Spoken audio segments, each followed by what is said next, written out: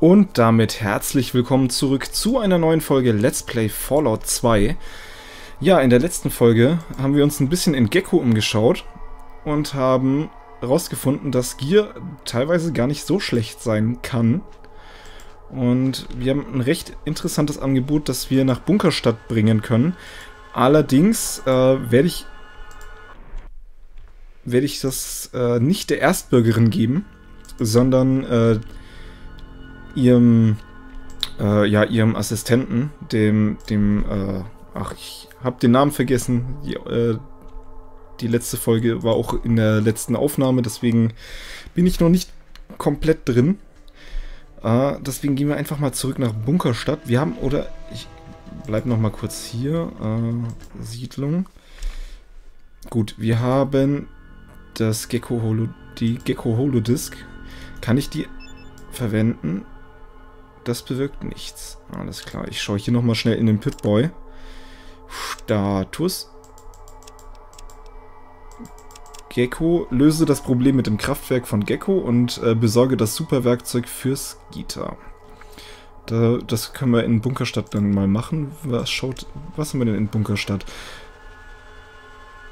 Das Problem mit dem Kraftwerk in Gecko lösen, weil ich glaube, die Erstbürgerin ist darauf aus, dass wir Gecko ausradieren, was wir auch aus der Reaktion von den, von den Ghouls mitbekommen haben.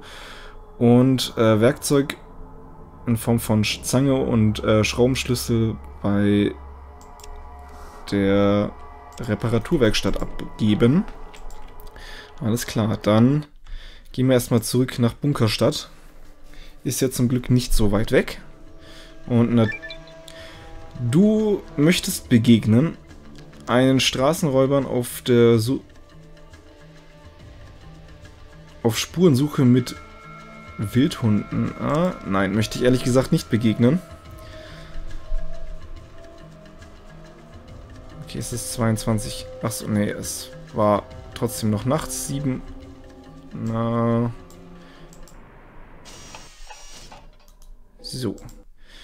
Tagesausweis bitte. Bitteschön. Alles klar, bevor du reingehst, müssen wir dich erst durchsuchen. Okay, natürlich. Natürlich müsst ihr mich durchsuchen. Alles klar, du scheinst sauber zu sein. Natürlich bin ich sauber. Oh, und ich habe ein Level up.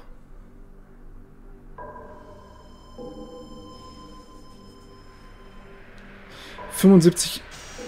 Wir standen echt so knapp vor dem äh, äh, Level up. Alles klar. Ähm... Ich werde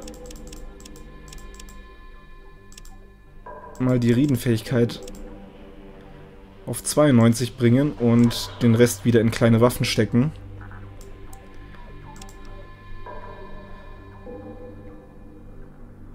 Na komm, bringen wir Reden auf 90.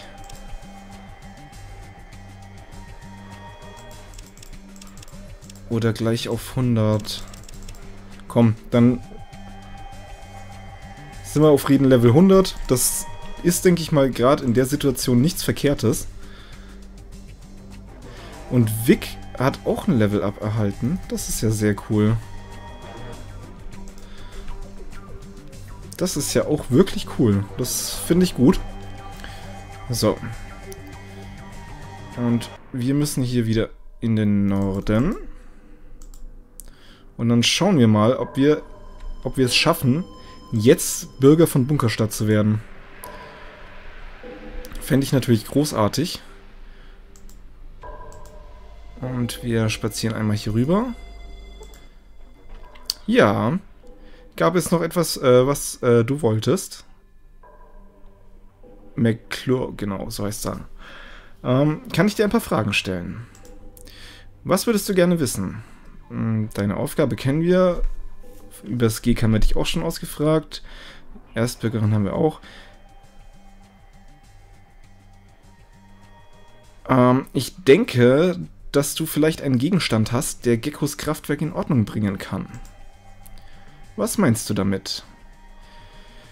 Ähm, und zwar, wenn, wenn ich einen hydroelektrischen Mag magnetosphärischen Regulator hätte, könnte ich das, äh, deren Werk wieder sauber, äh, könnte deren Werk wieder sauber laufen.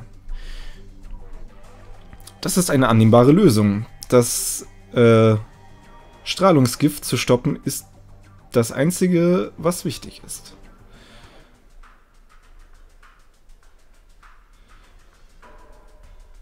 Ähm, ich bin besorgt, dass Lynette mir die Staatsbürgerschaft verweigern wird, falls ich das Werk in Ordnung bringe.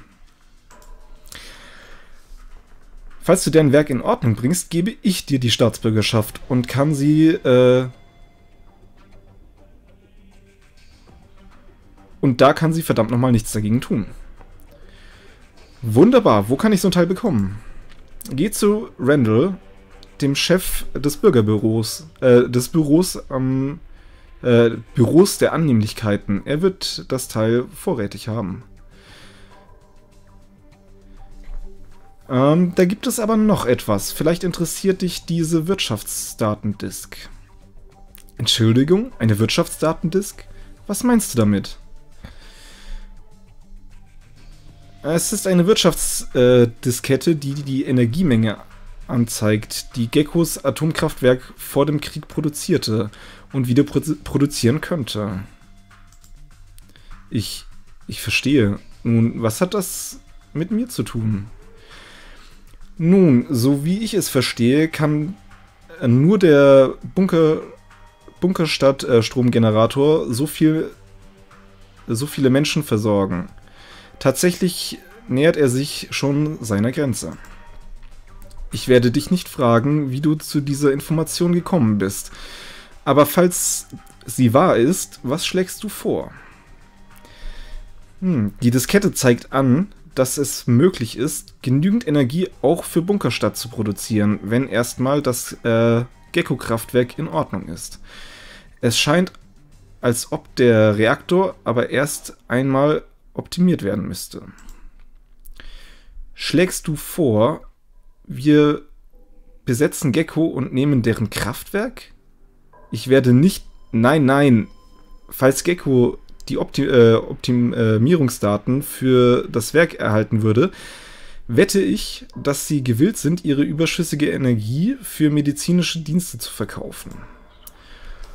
Hm, was, wenn der medizinische Dienst, äh, was den medizinischen Dienst betrifft, äh, stehe ich in der Einigung mit äh, den Ghouls nicht ablehnend gegenüber. Sie haben auf jeden Fall genügend, äh, genug erlitten. Aber wir können, äh, wie können wir deren Werk optimieren? Ich weiß es nicht. Vielleicht kann ich mit äh, jemandem reden, wenn das Werk erstmal repariert ist. Ich habe keine Einwände äh, zu deinem Vorschlag. Falls du Möglichkeiten zur Optimierung des Werks finden kannst, lass sie mich wissen. Okay. Ich werde das Teil von Randall holen und schauen, äh, dass ich de den Reaktor zuerst repariere. Ich werde die Wirtschaftsdiskette behalten und sie genauer untersuchen. Vielleicht kann ich äh, den Rat überzeugen, mit Gecko in Verhandlungen für die Energie zu treten. Die Daten, äh, Datendiskette wäre dafür ein sehr, gutes, äh, ein sehr gutes Argument. Hm, das verstehe ich. Vielen Dank. Das scheint ja wunderbar zu klappen, deswegen ich werde mich auch gar nicht bei der Erstbürgerin blicken lassen. Weil ähm, McClure hat mir zugesichert, dass ich die, die Bunker, äh, Bunkerstadt Staatsbürgerschaft bekomme. Und äh, auch mit, den, mit der Energie und sowas ist es, also er scheint da doch äh, sehr, sehr kooperativ und nicht so vorurteilsbeladen zu sein wie die meisten anderen Bunkerstadtbewohner. Deswegen schaue ich erst. Achso, nee, war, war, war, war, Moment. Ich muss natürlich in das Büro für Annehmlichkeiten, um das entsprechende Teil zu holen. Den äh, Atmosphärenregulator. Ah, Magnus hat sich gemerkt, wie das Ding heißt. Hallo, Fremder. Immer wieder angenehm, ein neues Gesicht äh, zu sehen. Ich heiße Randall. Ich bin der Chef des Büros für Annehmlichkeiten. Brauchst du was? Äh, kommt drauf an, wo bin ich hier? Das ist das Büro für Annehmlichkeiten. Wir haben alles, was man äh, zum Leben braucht. ein paar Bücher, Gebrauchsanweisungen, Werkzeug, Stimpaks, medizinisches Zubehör, alles Mögliche. Ähm, Stadtrat McClure meinte, ich hätte, äh, ich könnte bei dir einen Hy hydroelektrischen Magneten, äh, Magnetosphärenregulator bekommen. Ja, er sagte sowas. Von wegen, dass du hier vorbeikommen würdest. Magnus, stimmt's? Warte einen Augenblick, ich hol dir den hydroelektrischen Magneto, äh, Hymag. Alles klar. Okay, hier, bitteschön. Ein Hymag. Sieht ein bisschen wie ein, eine Lavalampe aus, findest du nicht? Vorsicht, äh, äh, Vorsicht, nicht fall, fallen lassen. Ist ziemlich empfindlich. Das gute Stück.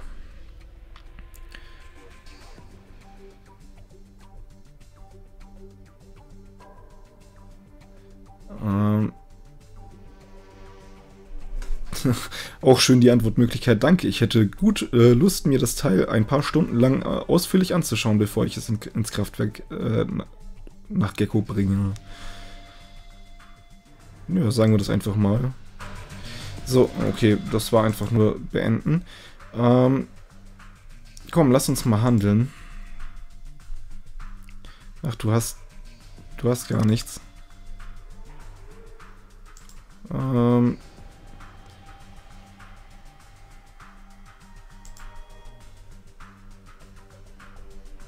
Ach so.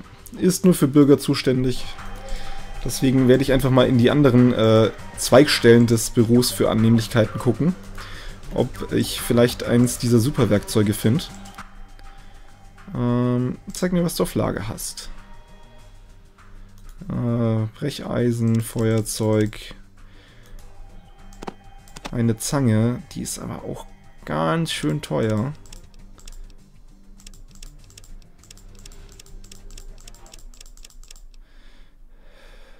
Und das ist nicht das Superwerkzeug, das ich suche. Und äh, nachdem ich noch keinen Schraubenschlüssel habe, äh, werde ich werde ich jetzt hier auch noch keine Zange kaufen. Hm, und du hattest Medizin und sowas, ne? Genau, das war der Mediziner. Danke. Okay, dann haben wir auf jeden Fall den Hydro-Elektro, äh, hy hydroelektrisches Teil. Schaut auf jeden Fall sehr futuristisch aus und leuchtet auch. Nicht schlecht, dann bringen wir das Ganze mal ins Kraftwerk.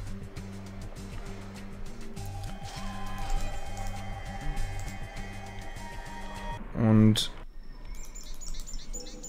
dann hoffe ich mal für die Ghouls, dass das Ganze wirklich so funktioniert, wie sie sich das vorstellen. Dass äh, Bunkerstadt mit Gecko kooperiert.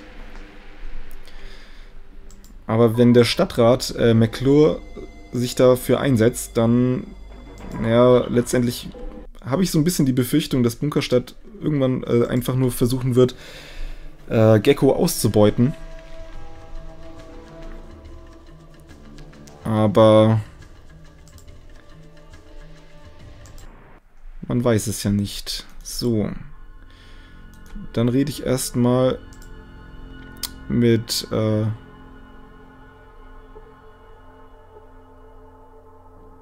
Harold. Ist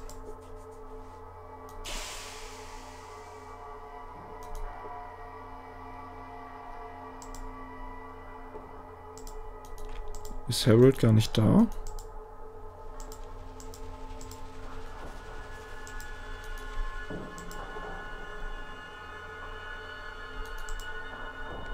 Ach so, äh, ins Officerbüro. Da ist Harold. Ich bin einfach in die falsche Tür gegangen. Ähm.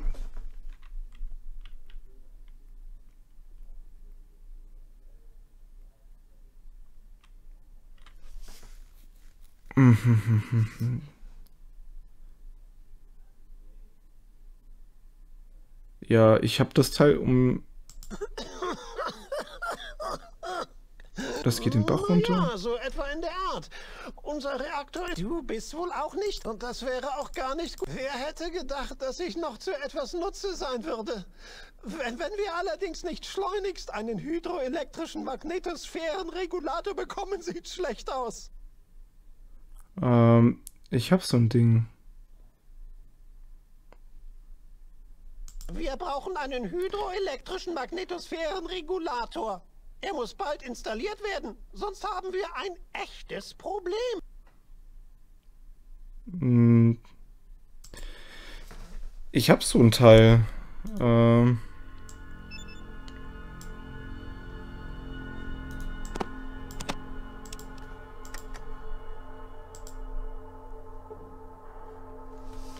Das bewirkt nichts. Äh, soll ich jetzt einfach in den, in den Reaktor reinrennen und ich weiß, ich weiß nicht mal, wo ich das installieren müsste. Äh, schauen wir nochmal in Pip-Boy. Status Gecko.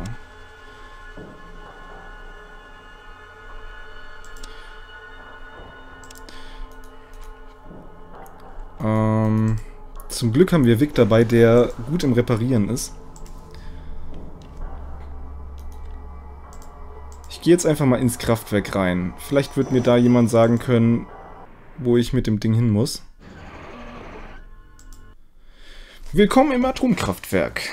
Eine Warnung. Wenn etwas äh, schief läuft, während du hier drin bist, wirst du deinen Kopf dafür hinhalten, Glatthaut. Ähm, ich werde vorsichtig sein. Ich suche was. Vielleicht kannst du mir sagen, wo ich es finde. Und was suchst du? Den Reaktorkontrollraum, den Versorgungsraum, den Roboterkontrollraum oder den Reaktorkern? Äh, ich weiß nicht, wo ich das Ding einbauen muss. Ich sage jetzt einfach mal den Reaktorkontrollraum. Zum Reaktorkontrollraum geht es durch die Tür rechts von, äh, von der Tür, durch die du das Gebäude gekommen bist. Dann gehst du am Ende durch die Tür vorbei an den gelben äh, Sicherheitstür, dann rechts für die Sicherheitstür brauchst du allerdings eine Keycard. Äh, ich brauche eine Keycard. Wo bekomme ich die? Ich glaube, Jeremy hat einen Schlüssel. Die Wächter an den äh, Sicherheitstüren haben Schlüssel und einige Leute, die hier im Reaktor wohnen. Danke, das ist alles, was ich wissen muss und tschüss. Alles klar, wir müssen hier erstmal rechts durch diese Tür. Okay, es hört sich sehr interessant an hier.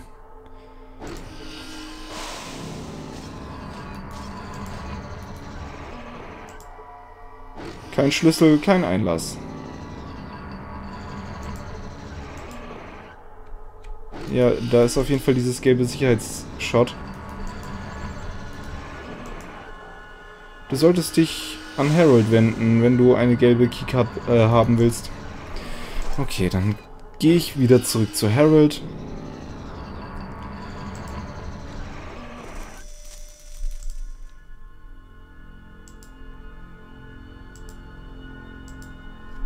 Ein bisschen komisch, dass ich ihm nicht sagen konnte, dass ich so ein Ding habe. Kann ich dir helfen, Grün? Ähm.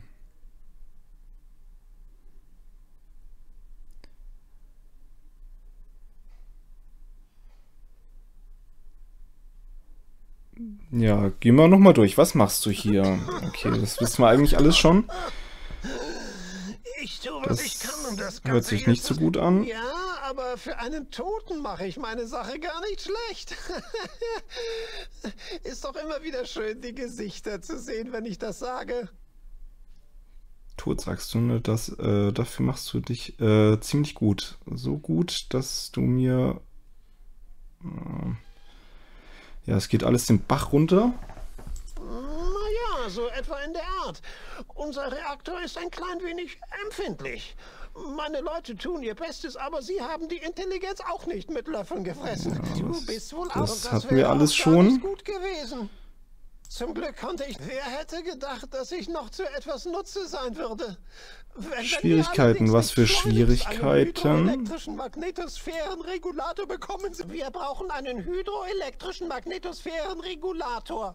Er muss bald installiert werden, sonst haben wir ein echtes Problem. Wo kauft ihr den Brennstoff? Den Brennstoff aus Broken Hills. Das ist eine Bergarbeiterstadt im Süden.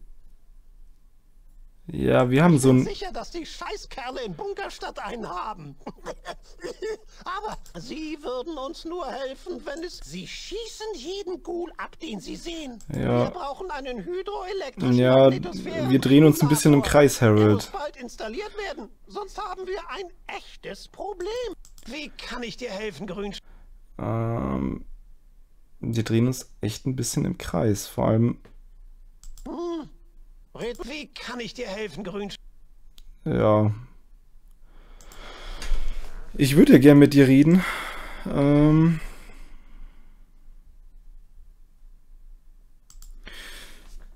Na gut, aber dann würde ich mal sagen, schauen wir in der nächsten Folge, wie wir den Reaktor hier in Gecko reparieren können. Und äh, ja, dann bedanke ich mich auf jeden Fall schon mal fürs Zuschauen. Ich hoffe, es hat euch gefallen. Ich würde mich natürlich freuen, wenn ihr beim nächsten Mal auch wieder mit dabei sein würdet. Und sag einfach bis dahin und ciao.